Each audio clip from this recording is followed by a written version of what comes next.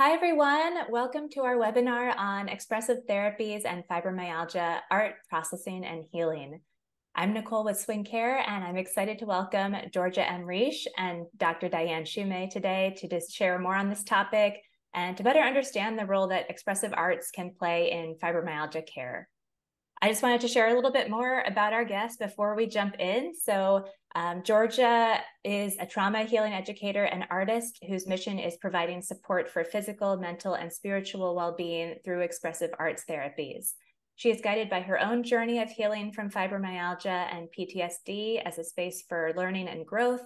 She also has a degree in social work, and her experience spans work as a holistic coach, Reiki practitioner, and community facilitator.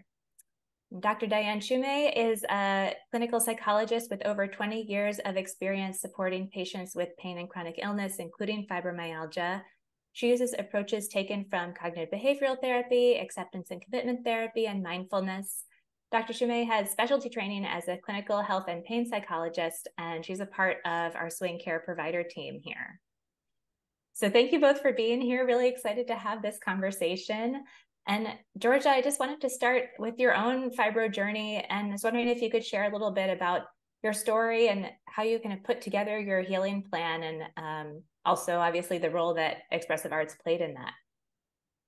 Yeah, thank you. And thank you, Nicole and Dianne, for inviting me to be here today. I'm so excited to be connecting with you guys. And the work that you're doing is so important, especially your holistic approach, which, um, of course, resonates with my my own journey. So, in brief, you know, it's hard to, to summarize 22 years of a journey.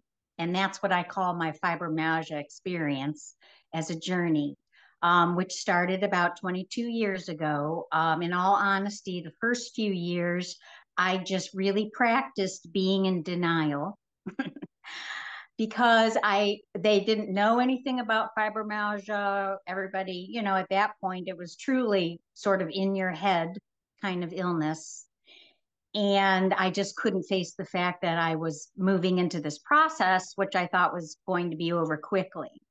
And that, of course, led into several decades of dealing with uh, that challenge. And I will say, you know, there are many different phases of my journey.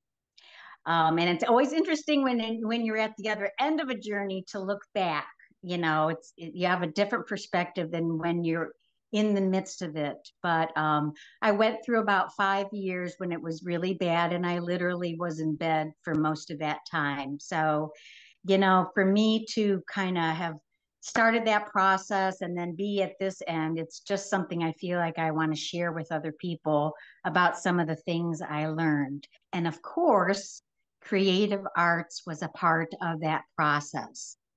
Um, how I got there is is a combination of synchronicity and life just handing me things that I took advantage of. But how I got there was a paintbrush. if you want to know the truth, somebody gave me paints. And it it was just my way of grappling with something that I couldn't put words to.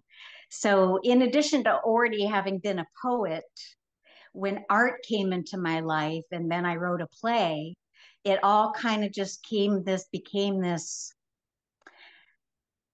I, I would call it a healing balm. Hmm.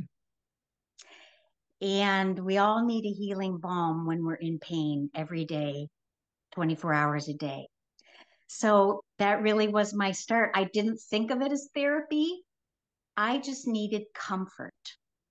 And I needed comfort with myself.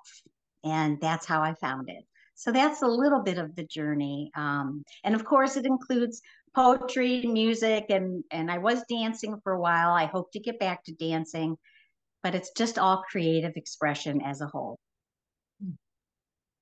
Thank you. And yeah, I really appreciate what you were saying about not being able to put words to that experience because we hear that from so many of our patients you know it's very isolating to be in an experience kind of trapped in a an experience that you can't really put words to or describe and no one else understands so being able not only to use those arts to make sense of it or put an expression to it uh, yourself, you know, might also translate to someone else who doesn't understand as well. So I that makes uh, a lot of sense.